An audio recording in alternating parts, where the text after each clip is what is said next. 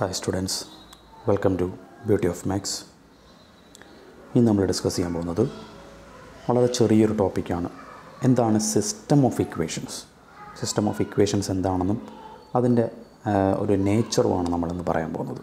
Okay കുറച്ച് കാര്യങ്ങൾ ഒന്ന് നോക്കുക. ആദ്യം സിസ്റ്റം ഓഫ് ലീനിയർ ഇക്വേഷൻ നോക്കുന്നതിന് മുമ്പായിട്ട് ജസ്റ്റ് ഒരു എക്സാമ്പിളിലൂടെ നമുക്ക് തുടങ്ങാം. എന്നിട്ട് അതിനെ ജനറലൈസ് ചെയ്യാം. Consider a system of two equations ഒരു ഓഫ് ഉണ്ട് അവിടെ. Of two equations in two variables X and Y as ഒരു സിസ്റ്റം ഓഫ് ഇക്വേഷനാണ് രണ്ട് ഇക്വേഷൻ രണ്ട് വേരിയബിളുള്ള രണ്ട് equations okay two equations in two variables X and Y as ഈ തന്നിരിക്കുന്ന സാധനം. Okay from the left side of each equation we get constant row vector okay ഇതിന് ഓരോന്നിനെ നമുക്ക് വെക്റ്റേഴ്സിന്റെ ഫോമിലോട്ടും മെട്രിക്സിന്റെ ഫോമിലോട്ടൊക്കെ കൺവേർട്ട് ചെയ്യാൻ പറ്റും. ഓക്കെ. അതാണ് അവിടെ പറഞ്ഞിരിക്കുന്നത്. അതായത് റൈറ്റ് സൈഡിന് ഒരു റോ വെക്ടർ ആക്കാൻ പറ്റും അല്ലെങ്കിൽ row matrix and a variable column vector ഇതിൽ വേരിയബിൾസിന് നമുക്ക് എക്സും വൈ ആണല്ലോ വേരിയബിൾ അതിനെ നമുക്ക് ഒരു കോളം വെക്ടർ ആക്കാം അല്ലെങ്കിൽ കോളം മെട്രിക്സ് ആക്കാം. In such a way that we can write each equation as അത് നോക്കുക. അതായത് ഇവിടെ പറഞ്ഞിരിക്കുന്ന കാര്യം ഇതാണ്. നമുക്ക് ഓരോ ഇക്വേഷനെയും നമുക്ക് വെക്റ്റേഴ്സിന്റെ രീതിയിൽ അല്ലെങ്കിൽ മെട്രിക്സുകളുടെ പ്രോഡക്റ്റായിട്ട് എക്സ്പ്രസ് ചെയ്യാൻ പറ്റും എന്നുള്ളതാണ് ഇവിടെ പറയുന്നത്. ഓക്കെ ഇവിടെ first equation two X plus three Y equal to nine അതിനെ നമുക്ക് ഇത്തരത്തിൽ എക്സ്പ്രസ് ചെയ്യാൻ പറ്റും. എക്സിന് വൈയുടെ കോയഫിഷ്യന്റ് ടു ത്രീ അതൊരു റോ വെക്ടറാണ് ഇന്റു അവയുടെ കോയഫ് ഇതിനകത്തുള്ള അൺനോൺസ് അൺനോൺസ് ഏതൊക്കെയാണ്? എക്സും വൈയും into another column vector X Y which is equal എന്റെ റൈറ്റ് സൈഡ് എന്താണ്? നയൻ ഈ രീതിയിൽ ഓരോ ഇക്വേഷനും നമുക്ക് റെപ്രസെന്റ് ചെയ്യാൻ പറ്റും. ഇപ്പോൾ മൾട്ടിപ്ലൈ ചെയ്ത് കഴിഞ്ഞാൽ ആ മെട്രിക്സ് മൾട്ടിപ്ലൈ ചെയ്ത് കഴിഞ്ഞാൽ ഈ ഇക്വേഷൻ കിട്ടും. Two into X two X plus three into Y three Y equal to nine അതാണല്ലോ ഈ കിടക്കുന്ന സാധനം. അതുപോലെ തന്നെ രണ്ടാമത്തെ ഇക്വേഷനെയും നമുക്ക് അത്തരത്തിൽ റെപ്രസെന്റ് ചെയ്യാൻ പറ്റും. Minus four X plus seven Y equal to five എന്ന് പറയുന്നതിന് നമുക്ക് എങ്ങനെ എഴുതാം? രണ്ട് വെക്റ്റേഴ്സിന്റെ പ്രോഡക്റ്റായിട്ട് അല്ലെങ്കിൽ മെട്രിക്സുകളുടെ പ്രോഡക്റ്റായിട്ട് എഴുതാൻ പറ്റും. അതായത് ഇതിൽ കോയഫിഷ്യൻസ് എക്സിന്റെ വൈയുടെ കോയഫിഷ്യൻ മൈനസ് ഫോർ സെവൻ അതൊരു row vector into unknowns X Y another vector which is equal to right side five ഇതിന് പ്രോഡക്റ്റ് എടുത്തു കഴിഞ്ഞാൽ ആ മെട്രിക്സ് മൾട്ടിപ്ലൈ ചെയ്ത് കഴിഞ്ഞാൽ minus four X plus seven Y equal to five എന്ന് വരും അതാണ് രണ്ടാമത്തെ ഇക്വേഷൻ ഓക്കെ ഇത്തരത്തിൽ നമുക്ക് ഏതൊരു ഇക്വേഷനെയും മെട്രിക്സുകളുടെ കളക്ഷൻ മെട്രിക്സുകളുടെ പ്രോഡക്റ്റായിട്ട് അല്ലെങ്കിൽ ഇത്തരത്തിൽ നമുക്ക് എക്സ്പ്രസ് ചെയ്യാൻ പറ്റും. ഓക്കെ അത് ടു ബൈ ടുവിന്റെ കേസ് ആവണമെന്നില്ല. ത്രീ ബൈ ത്രീയോ ഫോർ ബൈ ഫോറോ ഏത് ഇക്വേഷൻ ആയി കഴിഞ്ഞാൽ നമുക്ക് ഇത്തരത്തിൽ റെപ്രസെന്റ് ചെയ്യാൻ പറ്റും. ഇനി ഈ ഹോൾ സിസ്റ്റത്തിന് ഇപ്പോൾ ഓരോ ഇക്വേഷന്റെയും കേസാണല്ലോ പറഞ്ഞത്.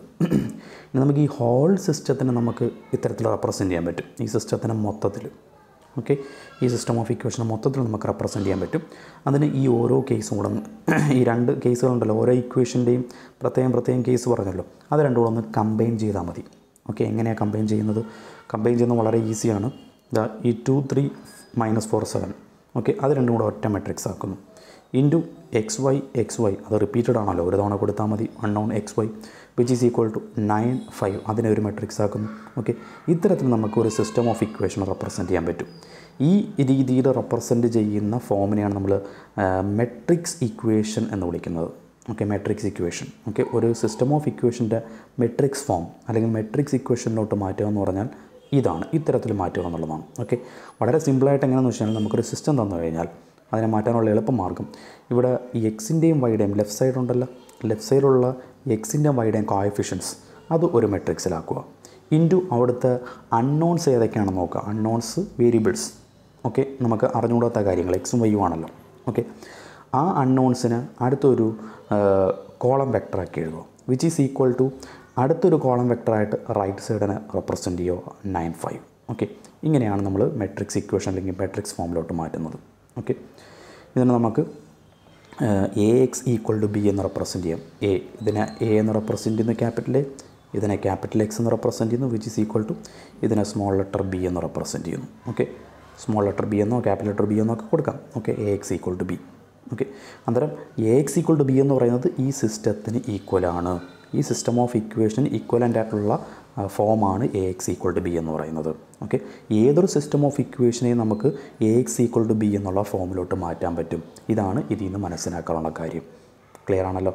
കാര്യം മനസ്സിലായാലും ഇനി ഇതേപോലെ ഇതിപ്പോൾ ഒരു ടു ബൈ ടുന്റെ എക്സാമ്പിളാണ് ത്രീ ബൈ ത്രീ നമുക്ക് ഇതേപോലെ ആക്കാം. ഫോർ ബൈ ഫോർ ആയാലും അല്ലെങ്കിൽ എം ബൈ എൻ ഓക്കെ എമ്മും എന്നും അല്ലെങ്കിൽ ഈ two by two three by three എന്ന് പറഞ്ഞാൽ എപ്പോഴും റോയും കോളവും തുല്യമാകണമെന്ന് നിർബന്ധമൊന്നുമില്ല. അല്ലാത്ത ഏത് കേസിലും നമുക്ക് ഇതേപോലെ മാറ്റാൻ പറ്റും. ഓക്കെ ഇനി ഇതിനെ ഒന്ന് ജനറലൈസ് ചെയ്യുന്നു.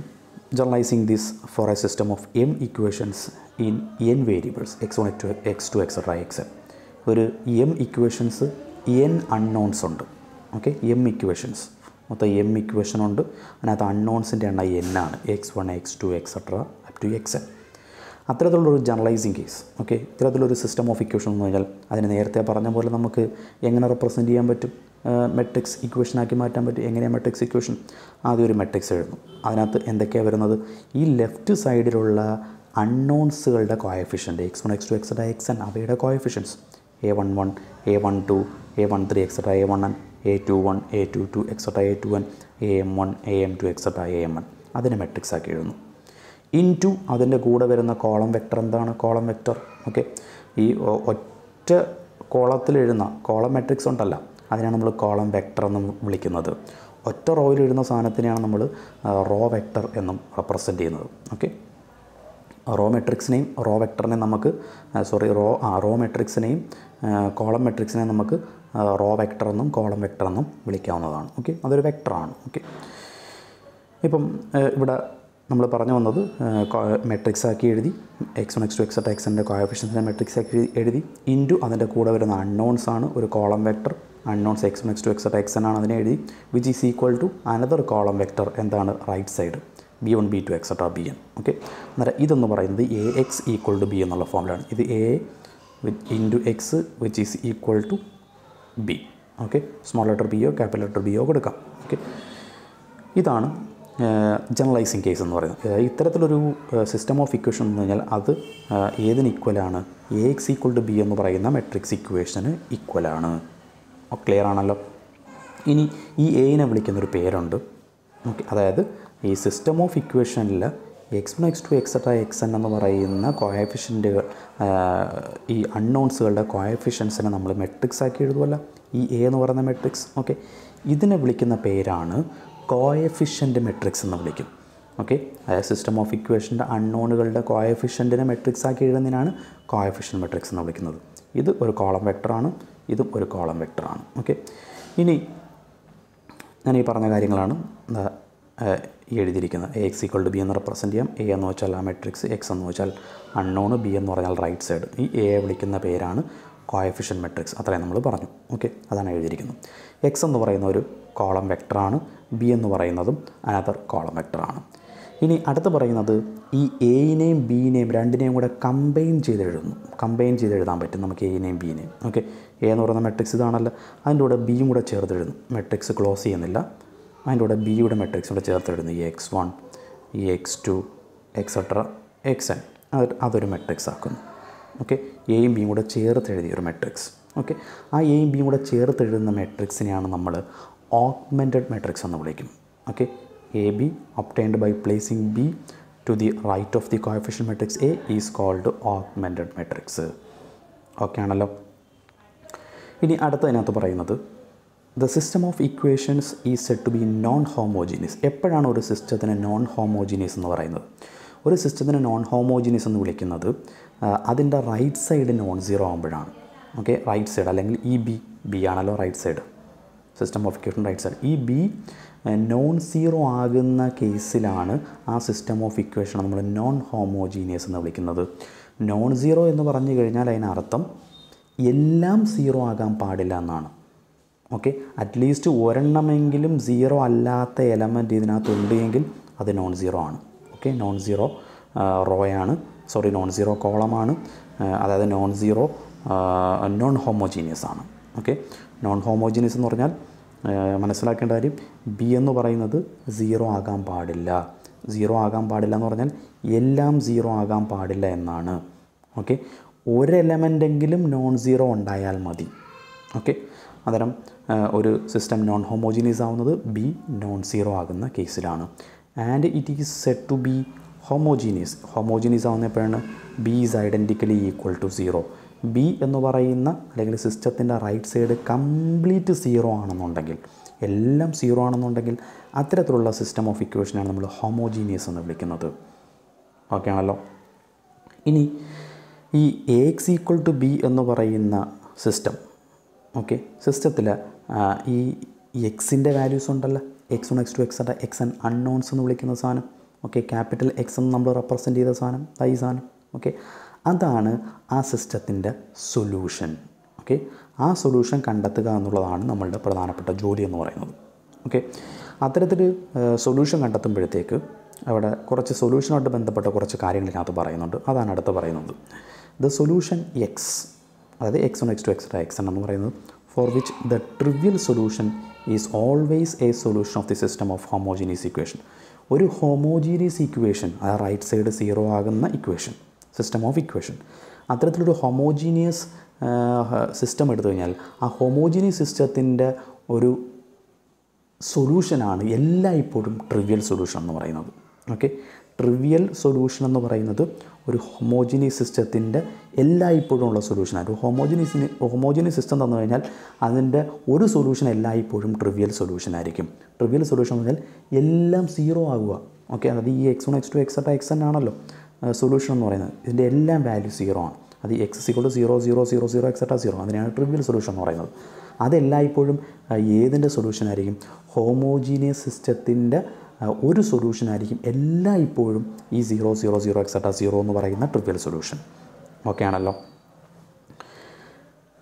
ഇനി അടുത്ത് പറയുന്നത് when we solve a system of equation equations to find the unknown variable X there may arise the following situation അതായത് ഈ എക്സിന്റെ വാല്യൂസ് അൺനോൺസിന്റെ വാല്യൂസ് ഓക്കെ നമ്മൾ സിസ്റ്റം തന്നതിന്റെ സൊല്യൂഷൻ കണ്ടെത്തുക എന്നുള്ളതാണല്ലോ. എക്സിന്റെ വാല്യൂ കണ്ടെത്തുക എന്നുള്ളതാണല്ലോ. അതായത് X X two X X N അവയുടെ വാല്യൂ കണ്ടെത്തുക എന്നുള്ളതാണ്. ഈ വാല്യൂ കണ്ടെത്തുമ്പോഴത്തേക്ക് എന്തൊക്കെയാണ് വാല്യൂസ് ആ വാല്യൂസ് വരുന്നതനുസരിച്ച് അതിന് ചില പേരുകളിൽ ആ വാല്യൂസിനെ നമ്മൾ വിളിക്കാറുണ്ട്. അതെന്തൊക്കെയാണെന്നുള്ളതാണ് താഴെ പറയുന്ന സിറ്റുവേഷൻസ് അതായത് the system of equations has solution or has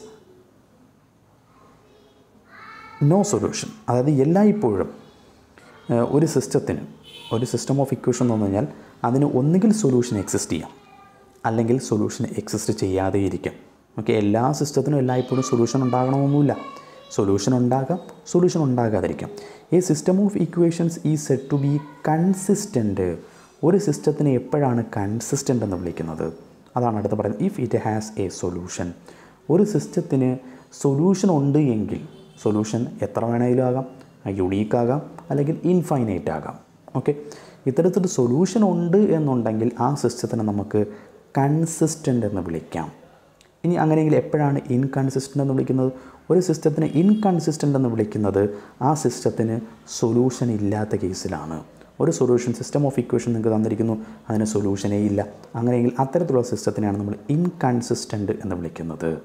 okay ഇനി അടുത്ത് പറയുന്നത് when the system is consistent the number of solutions may be finite or infinite അത് ഞാൻ നേരത്തെ പറഞ്ഞു കഴിഞ്ഞു. ഒരു സിസ്റ്റം കൺസിസ്റ്റന്റ് ആണെന്നുണ്ടെങ്കിൽ അതിന്റെ നമ്പർ ഓഫ് സൊല്യൂഷൻസ് എന്ന് പറയുന്നത് ഒന്നെങ്കിൽ ഫൈനൈറ്റ് ആകാം അല്ലെങ്കിൽ ഇൻഫൈനൈറ്റ് ആകാം. ഇത്രയാണ് സിസ്റ്റമായിട്ട് ബന്ധപ്പെട്ട കാര്യങ്ങൾ ലാസ്റ്റ് സെന്റൻസ് വേണ്ട അത് നമ്മൾ പിന്നീട് ഡിസ്കസ് ചെയ്യും. അതിന്റെ ജോമെട്രിക്കൽ മീനിങ് ഒക്കെ പിന്നീട് പറയും. ഓക്കെ അന്നേരം ഒരു സിസ്റ്റം ഓഫ് ഇക്വേഷൻ വന്നു കഴിഞ്ഞാൽ അതിന് ജനറലായിട്ട് അറിഞ്ഞിരിക്കാനുള്ള കാര്യങ്ങൾ ഇത്രയാണ്. ഓക്കെ ഈ കാര്യങ്ങൾ അറിഞ്ഞിട്ട് നമുക്ക് ഇനിയുള്ള അതിന്റെ സ്പെഷ്യൽ കേസുകളിലേക്ക് പോകാം ഓക്കെ ഇനി നമ്മൾ പഠിക്കാൻ പോകുന്നതെന്ന് വെച്ചാൽ ഈ സിസ്റ്റം ഓഫ് ഇക്വേഷനിൽ